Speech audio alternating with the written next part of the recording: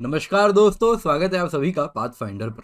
तो दोस्तों Indian agriculture के पंद्रहवें क्लास में हम सस्टेनेबल एग्रीकल्चर की ही चर्चा को आगे बढ़ाएँगे और आज हम डिस्कस करने वाले हैं इंटीग्रेटेड पेस्ट मैनेजमेंट दोस्तों, पिछले क्लास में हमने समझा था इंटीग्रेटेड न्यूट्रिएंट मैनेजमेंट तो कुछ वैसा ही, लेकिन उद्देश्य अलग है इंटीग्रेटेड पेस्ट मैनेजमेंट आज हम जानेंगे। दोस्तों, मेरा नाम किंजल चौधरी है और आप मुझसे मेरे टेलीग्राम चैनल पर जुड़ सकते हैं। जहाँ पर लेक्चर के बाद आपको पीडीएफ अपडेट्स मिल जाएँगे। ये रहा मेरा टेलीग्राम चैनल जिसकी ये लिंक आपके सामने है। इसके सिवा आपको बताना चाहूँगा, अगर आपके मन में कोई भी डाउट है with respect to preparation journey या सब्सक्रिप्शन या लेटेस्ट ऑफ़र एन अकेडमी में क्या रन हो रही तो बस आप इस नंबर पर कॉल कर सकते हैं। आपको नंबर दिया हुआ है और ये के सी वन ज़ीरो आपको कोड है जिसका आपका इस्तेमाल करना है और इस नंबर पर आपको कॉल करना है। तो आइए इसके साथ आज की क्लास जल्दी से स्टार्ट करते हैं। तो दोस्तों, अगर आप खेती करते हैं तो सबसे बड़ा नुकसान एक किसान को जो झेलना पड़ता है वो होता है पेस्ट के वजह से लॉस तो अगर डब्ल्यू ई एफ़ की बात करें वर्ल्ड इकोनॉमिक फोरम की बात माने तो 40 percent of the global crop production pest को लॉस हो जाता है लॉस टू पेस्ट है.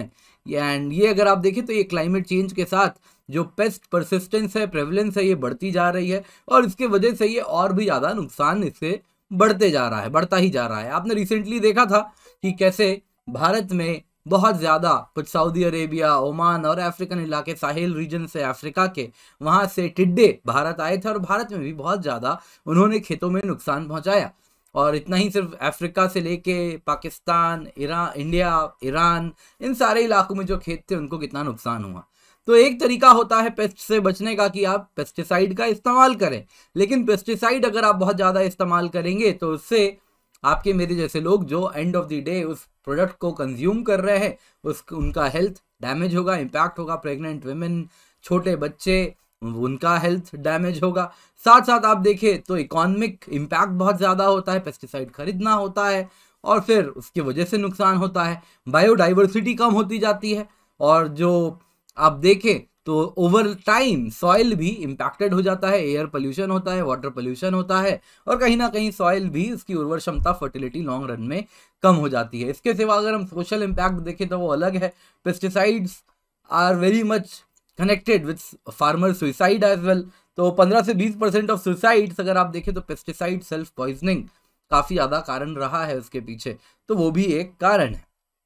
तो इसीलिए अब करे तो करे क्या? तो इसमें एक इलाज है इंटीग्रेटेड पेस्ट मैनेजमेंट तो इंटीग्रेटेड पेस्ट मैनेजमेंट दोस्तों, एक सस्टेनेबल एग्रीकल्चर स्ट्रेटेजी है, जो कि फोकस करता है कि भाई इंसेक्ट्स वीड्स पेस्ट्स एंड अन्य डिज़ीज़ जो कि फंगल डिज़ीज़ बैक्टीरियल डिज़ीज़ इनसे होते हैं, उनको सॉल्व करना है तो कॉम्बिनेशन ऑफ़ टेक्निक्स का इस्तेमाल करें। क्या क्या टेक्निक्स फ़िज़िकल टेक्निक्स का इस्तेमाल करें, केमिकल टेक्निक्स का टेक्निक्स का इस्तेमाल करें, बायोलॉजिकल टेक्निक्स का इस्तेमाल करें और कल्चरल टेक्निक्स का भी इस्तेमाल करें। तो अब क्या है physical technique, chemical technique, biological technique, हम सब अभी देखेंगे।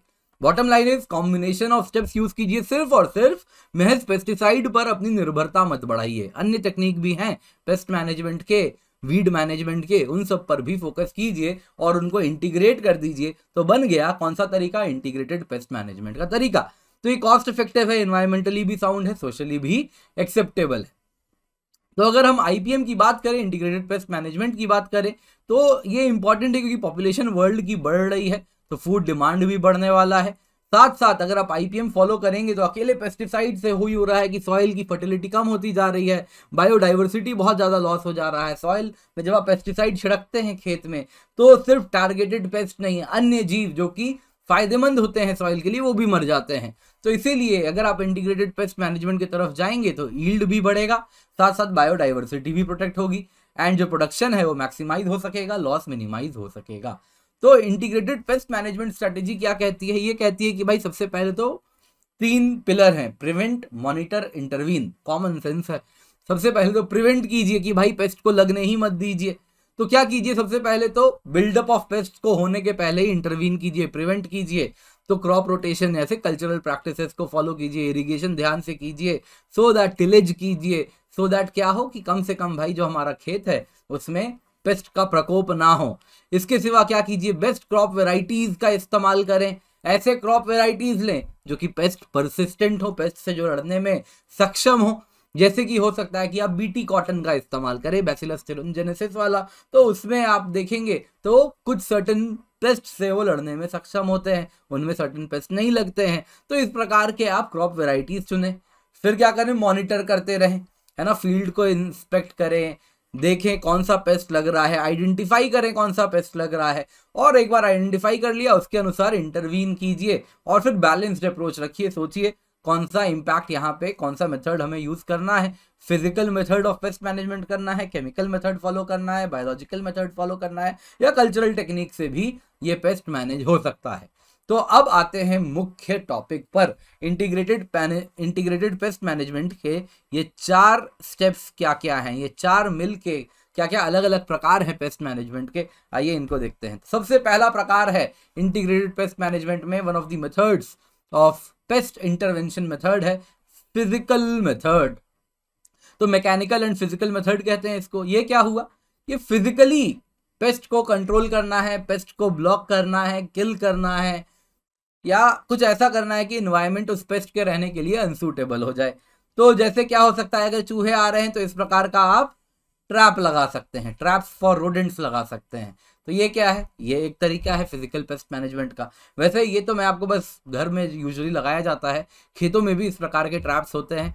आप देखेंगे तमिलनाडु वगैरह में काफ़ी ज़्यादा इस प्रकार के ट्रैप्स अलग अलग लकड़ी के होते हैं, वो इस्तेमाल किए जाते हैं। तो इस प्रकार का ट्रैप लगा सकते हैं। या फिर आप क्या कर सकते हैं? आप मल्चेस का इस्तेमाल कर सकते हैं। स्पेशली कहीं पर अगर वीड की समस्या है बहुत ज़्यादा, खरपतवार, उसको हटाना है तो वीडिसाइड छिड़कने के बजाय क्या करें? यहाँ पर आप देख रहे हैं कैसे प्लास्टिक की शीट लगा दी गई है। तो ये मल्च कर दिया गया है। मल्चिंग इसी को कहते हैं लेयर लगा दिया है। प्लास्टिक की शीट लगा दी है। सो so दैट अब इस क्रॉप के आसपास में कोई भी वीड नहीं ग्रो होगा। उसको ना मिट्टी में जो भी होगा जीव, ना प्लांट वीड होगा। उसको ना सनलाइट मिलेगी, ना उसके पास स्पेस है ग्रो करने के लिए। तो ऑब्वियसली वो अपने आप ग्रो ही नहीं होगा। तो ये भी एक तरीका है। मल्चेस कर सकते हैं। तो ये भी एक पेस्ट इंटरवेंशन मेथड है। तीसरा आप क्या कर सकते हैं? बैरियर लगा सकते हैं। जैसे इस प्रकार से आप देख रहे हैं चूहे अंदर नहीं घुस सकते, अन्य जीव अंदर नहीं घुस सकते। चूहे शायद घुस जाएँगे, लेकिन हाँ काफ़ी प्रकार के चिड़िया वगैरह से बचाने के लिए इसको इस्तेमाल में लाया जाता है। इस प्रकार के बैरियर होते हैं। तो वैसे ही चूहों का भी बैरियर हो सकता है, मज़बूत वाला कुछ बनाए। तो इस प्रकार के स्क्रीन लगा सकते हैं जो कि बर्ड्स को इंसेक्ट्स को, पेड़ पौधों से या जो भी हमारा एग्रीकल्चरल प्रोड्यूस है, या जो खेती जहाँ पर हो रही है तो उस क्रॉप से वो बचा सके। तो this is physical method physically आपने पेस्ट को हमारे क्रॉप तक पहुँचने से रोक दिया। नेक्स्ट होता है केमिकल मेथड आप सब जानते हैं केमिकल कंट्रोल मतलब पेस्टिसाइड का इस्तेमाल करें हर्बिसाइड का इस्तेमाल करें केमिकल्स का इस्तेमाल करें। तो इंटीग्रेटेड पेस्ट मैनेजमेंट कहती है पेस्टिसाइड्स अभी इस्तेमाल करें जब सच में उसकी ज़रूरत हो। और अन्य अप्रोचेस को भी ध्यान में लाएँ physical approach cultural approach biological methods सबको इंटीग्रेट करके यूज़ करें। सिर्फ़ पेस्टिसाइड पर ही ज़ोर ना दें।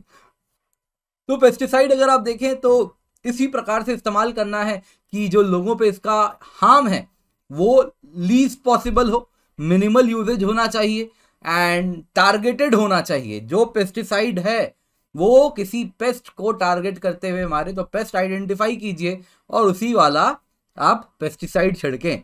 तो इससे क्या होगा? ब्रॉड स्पेक्ट्रम पेस्टिसाइड ना लाएँ टारगेटेड पेस्ट को मारने की कोशिश करें।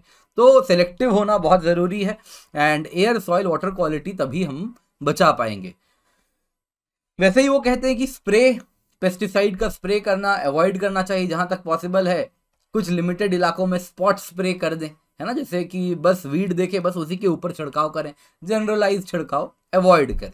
तो ये क्या हो गया? केमिकल मेथड हो गया। नेक्स्ट होता है biological method of pest control तो बायोलॉजिकल कंट्रोल हो गया कि जो भी पेस्ट हैं उनके कुछ नेचुरल एनिमीज होंगे तो उनको हार्नेस करें। प्रीडेटर्स पैरासाइट्स पैथोजेंस कॉम्पिटिटर्स उनका इस्तेमाल करें।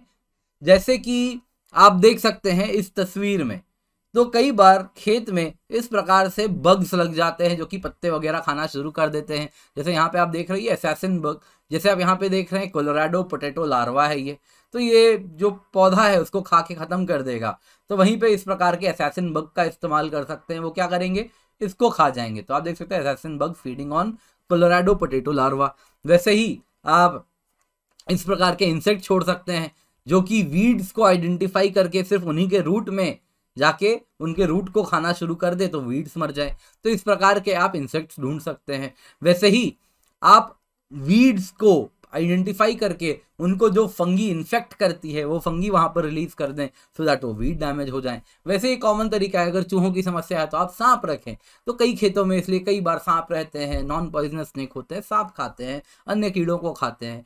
तो खेत में पेस्ट इस प्रकार से दूर रहते हैं। तो दिस इज़ बायोलॉजिकल कंट्रोल तो अलग अलग चीज़ें इस्तेमाल की जा सकती हैं। वैसे ही हमने पैरासिटॉइड देखा, इस केस में पैरासिटॉइड हो गया। वो जीव जो कि किसी पैरासाइट के शरीर में घुस के अंडा देता हो और उससे वो मर जाता हो सामने वाला होस्ट। तो दैट इज़ पैरासिटॉइड तो वो पैरासिटॉइड आइडेंटिफाई करें, जो इस प्रकार के जीव जो कि खेत में क्रॉप्स को डैमेज कर रहे हैं, उनके शरीर में जाके अंडा दे दे और उससे वो मर भी जाए फिर। तो इस प्रकार के पैरासिटॉइड्स को प्रमोट करें। या फिर जीएम क्रॉप्स आज के टाइम में आप देखें तो वो एक प्रकार का पैथोजन रखते हैं अपने सेल में। तो जीएम क्रॉप्स की बात करें तो जैसे कि बैसिलस थिरुंजेनेसिस एक प्लांट इन प्लांट में एक जीन्स ऐड किया जाता है। तो ये जीन्स क्या होता है? एक पैथोजन होता है, ये टॉक्सिक होता है बीटल्स के लिए कैटरपिलर्स के लिए। तो वो जीन हम ऐड कर देते हैं और उस प्रकार का क्रॉप इस्तेमाल करते हैं। तो उससे बीटल्स कैटरपिलर और अन्य प्रकार के जीव दूर रहते हैं तो डैमेज नहीं होता है। तो जीएम क्रॉप्स का भी इस्तेमाल क्या है? एक प्रकार का बायोलॉजिकल पेस्ट इंटरवेंशन मेथड है। Not all GM crops Bacillus thuringiensis वाले की बात हो रही है, जैसे BT brinjal BT cotton obviously बहुत ब्रॉड स्पेक्ट्रम नहीं है। कुछ, जैसे आप मुझे मालूम है कमेंट में बताएँगे, सर बीटी कॉटन इस्तेमाल किया, फिर भी पिंक बॉलवर्म की समस्या रह गई। तो जी हाँ वो तो रहेगी हमेशा नथिंग इज़ हंड्रेड परसेंट तो वो भी इवॉल्व करते हैं, जीव भी सामने वाले, वो भी अपना डिफेंस मैकेनिज्म मज़बूत करते जा रहे हैं। तो ज़रूरी है, इसको भी हम चेंज करते रहें। तो ये हो गया बायोलॉजिकल मेथड नेक्स्ट होता है कल्चरल मेथड पेस्ट इंटरवेंशन का। तो कल्चरल कंट्रोल हो गया, दोस्तों प्रैक्टिस ऐसे प्रैक्टिस जो कि आप देखें तो पेस्ट का रिप्रोडक्शन डिस्पर्सल सर्वाइवल पेस्ट का इस्टेब्लिशमेंट इसको रिड्यूस कर दें। जैसे कि इरिगेशन प्रैक्टिस को बदलें, है ना? इरिगेशन अगर आप बहुत ज़्यादा कहीं पर पानी डाल रहे हैं तो उससे क्या हो जाता है, जो रूट्स हैं, उनमें कई प्रकार के प्लांट के रूट में डिज़ीज़ लग सकते हैं, कई प्रकार के वीड्स उस पर आक्रमण कर सकते हैं। तो वाटरिंग प्रैक्टिस इंप्रूव करें, वैसे ही प्लोइंग करें रेगुलरली आप देख सकते हैं यहाँ पे प्लोड फैलो फ़ील्ड है। जब फ़ील्ड खाली होता है फैलो मैनेजमेंट है, उस वक्त उसमें प्लोइंग करें। प्लोइंग करने से क्या हो जाएगा? मैकेनिकल टिलिंग करें प्लोइंग करें तो वीड्स कहीं ना कहीं खत्म हो जाते हैं।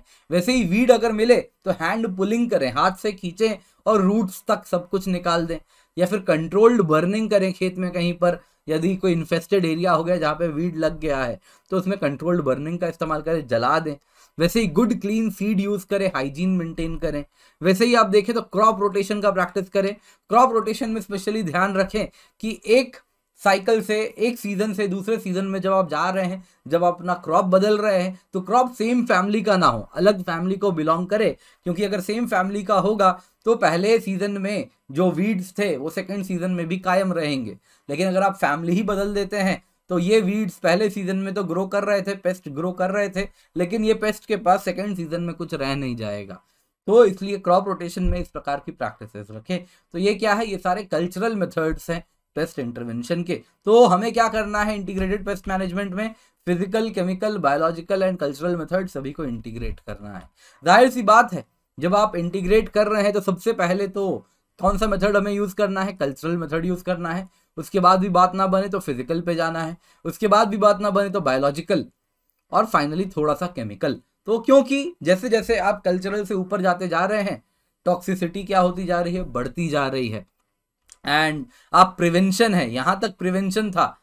कि आपने क्या किया कल्चरल मेथड्स जब यूज़ किए, कुछ फ़िज़िकल मेथड रखा, है ना? आपने सांप वगैरह रखे बैरियर्स रखा तो ये सब प्रिवेंशन था। पेस्ट को आने के पहले ही आप तैयार थे। जैसे जैसे आप ऊपर जा रहे हैं, आप इंटरवेंशन वाले अप्रोच पर मूव कर रहे हैं। यानी पेस्ट आने के बाद आप इंटरवीन कर रहे हैं, छिड़काव, विड़काव शुरू कर दिए। तो इंटीग्रेटेड पेस्ट मैनेजमेंट में ये पिरामिड है, जिसमें हमें ध्यान रखना है कि कल्चरल का वेटेज सबसे ज़्यादा है, थोड़ा फ़िज़िकल फिर बायोलॉजिकल एंड लास्ट में केमिकल तो यही आपको जानना है, यही आपको जानना है दोस्तों, ये बहुत इंपॉर्टेंट है। तो इंटीग्रेटेड पेस्ट मैनेजमेंट इससे सवाल आने की संभावना हमेशा रहती है। तो इसको अच्छे से जानिए, समझिए। तो दोस्तों, आपको कहना चाहूँगा अन अकेडमी में ultimate prelims and CSAT test series हम रन कर रहे हैं। तो आप देख सकते हैं, ये टेस्ट सीरीज़ है। आप देख सकते हैं, अट्ठाईस टेस्ट है, जिसमें ट्वेंटी जीएस और एट सी के टेस्ट हैं। तीन हज़ार एक सौ उनचास रुपये में है। वहीं अगर आप बारह महीने के लिए फिफ्टी सिक्स टेस्ट लेते हैं ये सिक्स महीन सिक्स मंथ्स के लिए ही थी। बारह महीने वाली छप्पन टेस्ट है, चालीस जी एस सोलह सी सैट इसकी कीमत है चार हज़ार चार सौ नौ रुपये ये तब है जब आप K C one zero code का इस्तेमाल करते हैं। तो याद रखिएगा के सी वन ज़ीरो कोड से ही आपको ये टेन परसेंट ऑफ़ मिल रहा है। इसके सिवा बहुत सारे टेस्ट सीरीज़ के फीचर्स हैं, इसमें ट्रैकर्स हैं इंडिकेटर हैं, आप कैसे परफॉर्म कर रहे हैं पर्सनलाइज रिपोर्ट आपका बन रहा है। मल्टीपल टाइम्स आप एक टेस्ट को अटेम्प्ट कर सकते हैं। इसके सिवा न्यू कॉम्बो वीक भी हम रन कर रहे हैं flat twenty two percent off with combo और ten percent with educators code K C one zero आपको मिल रहा है। 18 मंथ्स प्लस कॉम्बो की कीमत है sixty three eight nine eight rupees eighteen months iconic combo है seventy six one seven six rupees iconic subscription है one to one live mentorship है। Mains question answer practice है स्टडी प्लानर है। और open house में आप बोल भी सकते हैं। इसके सिवा C S C combat C set special हम रन कर रहे हैं के सी वन ज़ीरो कोड का। फ़ायदा उठाएँ प्लस सब्सक्रिप्शन की एक साल की कीमत है forty six seven nine one rupees एक साल की आइकनिक की कीमत है sixty seven zero four one rupees ये सारी कीमतें तब है जब आप K C one zero code use करते हैं, यानी वो कोड जिससे आपको गाइडेंस एंड मेंटरशिप भी मिलती है। एक साल की कीमत है ऑप्शनल की चौबीस हज़ार सात सौ पचास रुपये लोन की भी फैसिलिटी है, नीचे लिंक मिलेगा लोन के लिए अप्लाई आप कर सकते हैं। One to one live mentorship भी मिलती है आइकनिक में, बहुत ज़बरदस्त बेनिफिट है। तो आप देख सकते हैं बुक्स भी मिल रहे हैं साथ साथ आपको सब डिस्कस भी कर सकते हैं डाउट सॉल्विंग भी हो रही है। फ्री मेगा टेस्ट सीरीज़ है, इसका हिस्सा बन सकते हैं। यूपीएससी ऐसी बैचेस हम रन कर रहे हैं। हिंदी इंग्लिश बाईलिंगुअल एक साल, दो साल के अलग अलग बैचेस हैं। तो इनका फ़ायदा ज़रूर उठाएँ। Mission two year batch course आप देख सकते हैं स्क्रीन पर। Thank you so much for joining have a great day